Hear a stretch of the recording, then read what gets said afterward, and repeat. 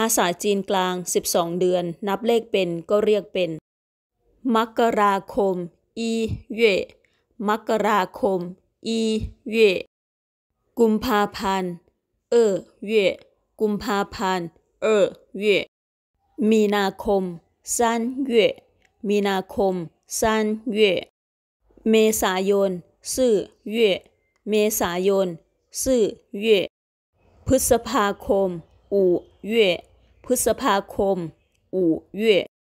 มิถุนายนเลี้ยวเย่มิถุนายนเลี้ยวเย่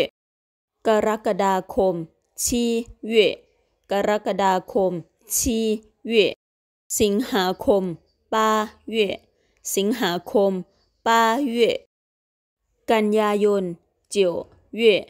กันยายนเจียเย่ ตุลาคมสือเย่ตุลาคมสือเย่พฤศจิกายนสืออีเย่พฤศจิกายนสืออีเย่ธันวาคมสือเอ่อเย่ธันวาคมสือเอ่อเย่คมอยู่ข้างหลังจะมี 31 วัน